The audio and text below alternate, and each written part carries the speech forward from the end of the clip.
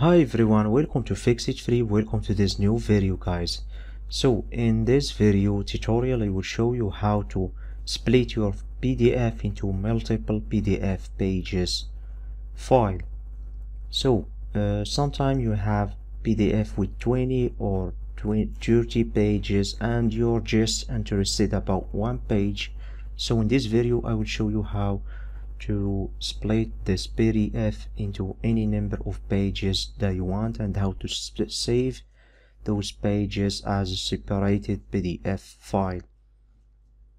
So uh, this will be using two methods guys so the first method is using uh, Adobe Reader so if you don't have Adobe Reader just type Adobe Reader in the Windows Store and here is the Adobe Reader at the first result and for free. Then all you need to do is click install. I already have it as you can see. So I will just open the PDF using this Adobe Reader. Uh, so let's open this with Adobe Reader. And here is the PDF guys as you can see. And let's say I'm interested only about this first page for example. So in order to split this PDF all you need to do is go over a print here as you can see.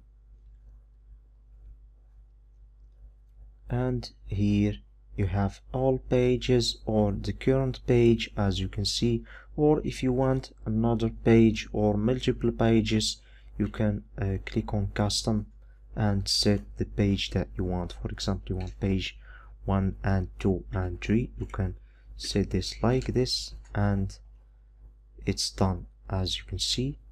Or if you want to print uh, to save the current pages just select the current pages so let's save those three pages and click on print. Here it gives you to select uh, the the location to save the file. So let's name this three pages and let's save this on the desktop so the second method guys is uh, doing it online as you can see. So in order to do this uh, go over the website ilovepdf.com and here uh, at the home page of the website you will find a lot of advanced features. You can merge PDF, split PDF and there is a lot of uh, conversion that you can do converting PDF to other format. So let's just focus on splitting PDF so click split PDF here select your file. So here is our file. As you can see we have 22 pages and here uh, we have some range modes.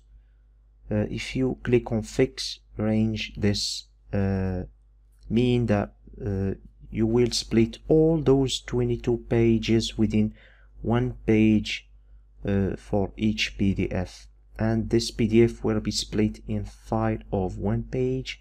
22 PDF will be created and saved to your computer. If you set it as do uh, you will have uh, every PDF will have two page on it. So let's just go back to custom range and here if you want a specific page just uh, set here one for example page one.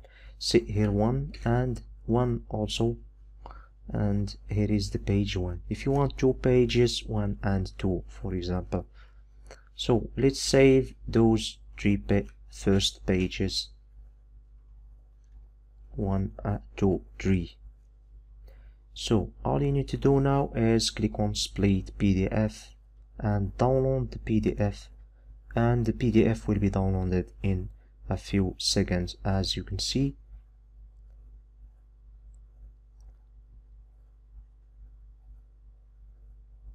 So here is the pdf now. Guys downloaded with only three pages instead of 22 pages so thank you for watching. I hope this video helped you out to solve your problem with pdf thank you guys for watching fix it free and thank you for watching my videos.